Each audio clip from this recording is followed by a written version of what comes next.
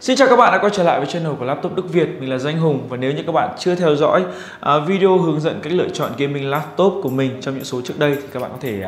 uh, bật lại những video đó và xem. Và mình thấy rằng sau khi ra video này thì rất là nhiều người uh, quan tâm về những dòng mẫu mã cụ thể, những mã sản phẩm cụ thể cho năm 2021 Vậy thì trong video ngày hôm nay chúng ta sẽ cùng điểm danh qua 5 con quái thú gaming laptop ấn tượng xịn sò nhất trong năm 2021 Bắt đầu video thế nào? Sản phẩm đầu tiên sẽ là một à, chiếc máy đến từ thương hiệu Asus, Asus Zephyrus G15. Đây là một à, chiếc máy có một thiết kế phải nói là khá là ấn tượng. À, đặc biệt là về phần kích cỡ của nó, máy chỉ dày có 18,9 mm và nặng khoảng 1,5 kg. Tức là nó sẽ mỏng hơn 25% và nhẹ hơn đến 42% so với những dòng laptop với kích cỡ 15 inch thông thường. Đây thực sự là một thông số cực kỳ ấn tượng bởi vì rõ ràng chúng ta biết rằng là với những dòng laptop và những dòng gaming laptop ấy thì cái kích cỡ của nó thường sẽ bị khá là cồng kềnh, đồ sộ. Tuy nhiên đây là một sản phẩm có thể giải quyết được bài toán đó và kết hợp với một cái phần khung kim loại được gia cố với vẻ bên ngoài nó rất là bóng bẩy, hào nhoáng thì thực sự đây là một con quái thú với một vẻ ngoài rất đỏm giá, đồng thời có một cái sự nhẹ nhõm để cho chúng ta dễ dàng và trải nghiệm một cách mượt mà nhất. Và chiếc laptop này cũng sở hữu cho mình một công nghệ màn hình rất ấn tượng với tần số quét lên đến 240Hz 240Hz thực sự là cực kỳ ấn tượng khi mà các bạn có cơ hội trải nghiệm trên những chiếc ờ, gaming laptop mà với tần số quét 120 hoặc 144Hz thôi thì nó đã là một sự mượt mà. Và đôi mắt của chúng ta khó mà, gọi là, có thể chê trách được. Còn đây sẽ là 240Hz các bạn ạ. Rất là ấn tượng. Cùng với một cái thiết kế phần viền màn hình cực kỳ là mỏng nên nói chung là mình thấy rằng đây là một cái sản phẩm uh, ngoại hình của nó mang đến cho chúng ta cảm giác rất là đã khi mà chúng ta nhìn ngắm vào nó. Công nghệ tản nhiệt kiểu mới cũng sẽ là một chi tiết mà mình muốn nhấn mạnh trong chiếc Asus Zephyrus G15 với những cái đường ống ờ, dẫn nhiệt riêng từ ờ, uh, GPU và CPU kết hợp với đó là một đường ống dẫn nhiệt thứ ba nối trực tiếp với bộ nguồn chuyển đến CPU và GPU như vậy là với ba đường ống dẫn nhiệt này à, với một cách tối ưu luồng khí theo hình chữ N thì chiếc máy của chúng ta sẽ có một cái hệ thống tản nhiệt tiên tiến và à, giúp tránh tối đa cái hiện tượng là tăng nhiệt độ khi mà chúng ta trải nghiệm game. À, tiếp nữa với một cái đường ống tách bụi riêng thì giúp cho công nghệ này sẽ giúp cho cái chiếc máy của chúng ta sẽ có thể tách được những cái phần hạt bụi, những cái bụi bẩn có thể à, bám trên cái cánh quạt tản nhiệt. Và chắc chắn là với công nghệ này thì những người nào mà dị ứng với nhiệt độ cao khi mà trải nghiệm gaming laptop sẽ cực kỳ là ý còn sức mạnh bên trong của chiếc máy này thì sao? Chúng ta sẽ có CPU là Ryzen 9 5800HS đến từ AMD, GPU sẽ là GeForce RTX 3060 và với AOG Boost chúng ta có thể đạt được 1335 MHz. Thực sự là những thông số cực kỳ là ấn tượng và giúp chúng ta hoàn toàn có thể trải nghiệm tất cả những tựa game phổ biến hiện nay và với một cái trải nghiệm VR đỉnh cao và mượt mà nhất. Còn nếu như các bạn cảm thấy rằng G15 mang đến một cái trải nghiệm gì đó nó hơi thừa thãi một chút, chúng ta chưa cần dùng đến nhiều đến như vậy, thì chiếc Asus Zephyrus G14 có lẽ sẽ là một cái phiên bản à, thấp cấp hơn một chút nhưng cũng có thể sẽ phù hợp với nhu cầu sử dụng của các bạn hơn. Chiếc uh, Zephyrus G14 này thì vẫn giữ nguyên được uh, hình dáng kích cỡ về mặt trọng lượng so với chiếc G15 tức là nó cũng uh, rất là mỏng 18,9mm cũng nặng dưới 2 kg và cũng nhẹ hơn và mỏng hơn 25% cho đến 42% với những chiếc laptop 15 inch thông thường. À, như vậy là những cái điểm uh, ưu điểm về mặt thiết kế ngoại hình của G14 thì nó vẫn khá là giống với G15 và về mặt ngoại hình thì có lẽ chúng ta sẽ không cần phải lan tăn quá nhiều về hai sản phẩm này, chúng tương đối là tương đồng với nhau. Vậy thì điểm khác biệt là gì? Đầu tiên chúng ta sẽ có một sự ờ, thấp cấp hơn một chút về mặt màn hình. Công nghệ màn hình 240Hz của G15 sẽ được thay thế bằng tần số quét là 120Hz với chiếc G14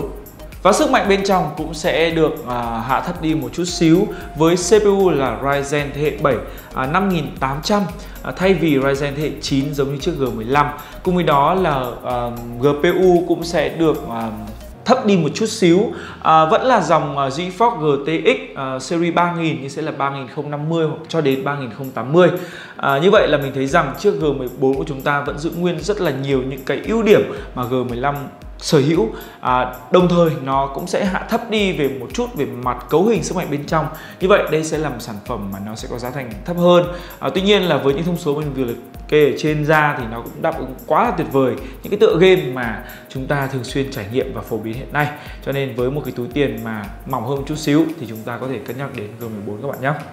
Sản phẩm thứ ba của chúng ta sẽ là chiếc Lenovo Legion 5 Pro. Đây là một chiếc laptop uh, cũng không phải quá nhỏ gọn giống như hai cái tên phía trước mà mình đưa ra. Nó có một cái thiết kế có độ dày khoảng 2,7 cm và độ nặng của nó khoảng 2,45 kg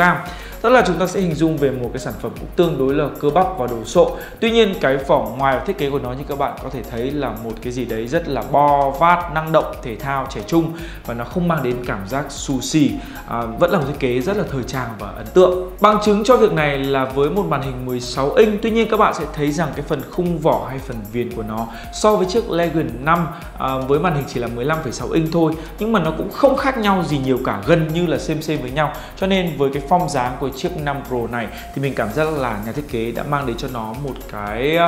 uh, khí phách trông nó thanh thoát hơn à, mềm mại hơn và có một cái gì đấy nó tinh gọn hơn khá là nhiều so với những người tiền nhiệm đi trước.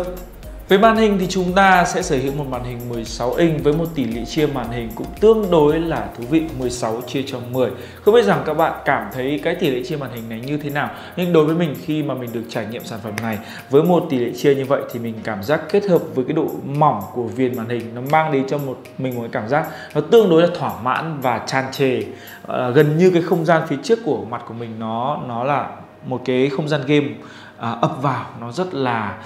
sao nhỉ không biết tả thế nào nữa nhưng mà nó rất làm cho mình có cảm giác là mình thực sự đắm chìm được trong cái màn hình đấy. Nhìn nó rất là đã rất là sướng và thực sự là rất là phê. Với một độ phân giải màn hình cực cao 2560 x 1600 này độ sáng màn hình thì bất chấp mọi thử thách 500 nit. À, độ chuẩn màu lên đến 100% theo thang màu của sRGB một cái thông số quá quá là ấn tượng với một chiếc gaming laptop khi có độ chính, chính xác màu nó lớn đến như thế. Thường thì những chiếc gaming laptop nó chỉ loanh quanh rơi vào khoảng 70% thôi thì đã là một gọi là cái mức trung bình chấp nhận được và khá là ổn rồi còn đây là 100% như vậy là các bạn hoàn toàn có thể dùng chiếc laptop này để chơi game.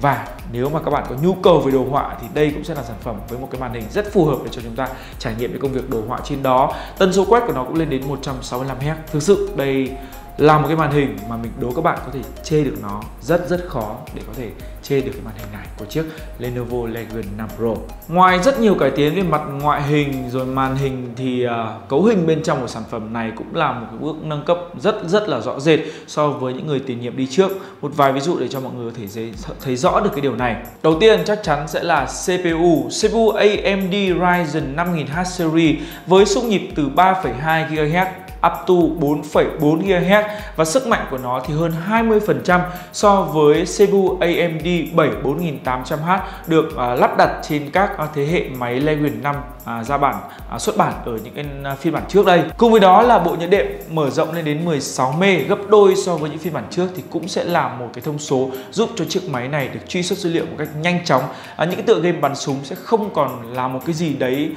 à, thử thách hay khó khăn với tựa game này à, với chiếc máy này nó sẽ rất là mượt mà trôi chảy và mang đến cho chúng ta một cái trải nghiệm thực sự là sung sướng nhất Ngoài ra với các đồ họa Nvidia GeForce RTX 3060 kết hợp với 16GB RAM và ổ cứng SSD 512GB Mình nghĩ rằng đây sẽ là một dấu chấm hết cho những câu hỏi à, còn thắc mắc về sức mạnh của chiếc máy này Và đây sẽ là cái tên thứ ba Còn cái tên thứ tư sẽ là cái tên nào đây? Cái tên thứ tư sẽ là Acer Nitro 5 với hai gam màu đỏ đen chủ đạo kết hợp với những đường vát, đường bo, góc cạnh. Thực sự đây sẽ là một cái sản phẩm mang đến một cái tính từ mà mình nghĩ rằng nó sẽ rất là phù hợp đó là sự hiếu chiến. Trông nó rất là chiến đấu, trông nó rất là cá tính đúng không nào? À, có lẽ trong những cái chiếc máy mà mình vừa giới thiệu các bạn thì đây sẽ là một sản phẩm máy mà mình cảm thấy ưng ý nhất, à, nó hợp gu nhất với mình về mặt thiết kế bên ngoài. Còn không biết mọi người thì nghĩ sao? À, sản phẩm này nó mang đến cho chúng ta một cái uh, sự hầm hố tuy nhiên nó kết hợp với đó là cái sự tinh tế và khá là nhỏ gọn. Khi mà nó sở hữu cho mình những cái viền màn hình cực mỏng chỉ khoảng 6,3 mm và tổng trọng lượng của chiếc máy này thì cũng chỉ hơn 2 kg thôi. Tức là nó nó cũng là một sự pha trộn giữa một cái gì đấy hầm hố cá tính gai góc nhưng nó cũng rất là tinh tế và thành mạch. Bên cạnh yếu tố ngoại hình thì cấu hình của Acer Nitro 5 cũng sẽ là thứ làm cho các fan phải phát cuồng lên vì nó mang đến trong mình một sức mạnh rất tuyệt vời với con chip Core i5 Comet Lake 10300H với xung nhịp lên đến 4,5 GHz. Hơi tiếc một chút khi máy chỉ trang bị có một thanh RAM 8GB thôi và nếu là mình thì mình sẽ cảm thấy 16GB mới thực sự là phù hợp với nhu cầu chơi game của mình nhưng các đồ họa Nvidia GeForce GTX 1650 Ti à, thì thực sự làm cho mình cảm thấy miễn chê ở trong tầm giá này chơi game ngon thậm chí render video cũng phụt mượt Cùng với đó là việc sở hữu một ổ cứng SSD 512GB cho chúng ta truy xuất dữ liệu cực kỳ là nhanh chóng. Bên cạnh đó, chiếc máy cũng trang bị cho chúng ta thêm hai khe cắm à, uh, SSD hoặc là HDD để giúp chúng ta có thể mở rộng thêm lưu lượng lưu trữ của chiếc máy này. Và cái tên cuối cùng trong danh sách ngày hôm nay sẽ đến từ thương hiệu HP, đó chính là chiếc HP Omen 15. À, đầu tiên nhìn qua ngoại hình của sản phẩm này chúng ta sẽ thấy một cái gì đấy nó vuông vắn hơn, cao cấp hơn, lịch thiệp hơn, lịch sự hơn so với thiết kế của những cái người tiền nhiệm đi trước. Tuy nhiên thì với một góc nhìn của một cái uh,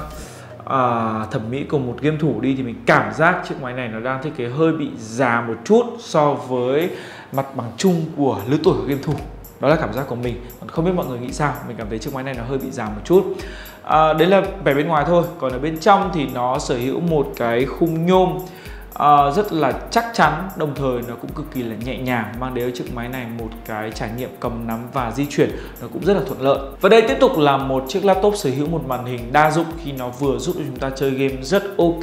với tần số quét là 144 Hz đồng thời hoàn toàn có thể uh, sử dụng trong những cái tác vụ liên quan đến việc thiết kế đồ họa khi nó có độ chuẩn màu đạt 100% theo thang đo màu của sRGB còn về hiệu năng thì đây có lẽ sẽ là một sản phẩm cho chúng ta nhiều cái sự lựa chọn nhất. Chúng ta sẽ có đến 4 sự lựa chọn ở đây. Đó chính là AMD Ryzen 9 5900HX hoặc là Intel Core i5 10300H. Lựa chọn thứ ba sẽ là Intel Core i7 10750H và cao cấp hơn sẽ là Intel Core i9 10885H. Cùng với đó, máy cũng sẽ cung cấp cho chúng ta một thanh RAM 8GB hơi bị thiếu một chút cùng với đó là một ổ cứng SSD 512GB. Với phiên bản Core i5 và Core i7 có thể giúp chúng ta hoàn toàn có thể chơi rất nhiều những cái tựa game đa dụng mạnh mẽ nhất hiện nay ở chế độ Max Setting. Đồng thời là chúng ta có thể sử dụng những cái phần mềm thiết kế đồ họa đơn giản Photoshop 2D, 3D à, đơn giản và xuất video một cách rất là mượt mà. Còn nếu như chúng ta vươn lên đến con CPU i9 và các đồ họa RTX 2080 thì dựng mô hình 3D, dựng nhà cửa, đồ họa thiết kế, à, thông số kỹ thuật chuyên dụng thì chiếc máy này vẫn có thể cân được hết các bạn ạ. Nhưng khét lẹt nhất thì sẽ phải là AMD Ryzen 9 kết hợp với card đồ họa RT 3070 Với phiên bản này thì thực sự mình nghĩ rằng hết nước chấm luôn. Nếu là bạn thì bạn sẽ lựa chọn phiên bản cấu hình nào trong bốn cái phiên bản mình vừa kể trên của chiếc HP Omen 15 Cùng với đó là bạn nghĩ sao về cả năm cái tên trong video ngày hôm nay? Cái tên nào thực sự làm cho bạn cảm thấy cảm hứng và muốn dinh ngay về nhà? Hãy comment bên dưới để cho chúng ta có cơ hội bàn luận với nhau nhiều hơn. Còn bây giờ xin chào và hẹn gặp lại mọi người trong những video tiếp theo của laptop Đức Việt.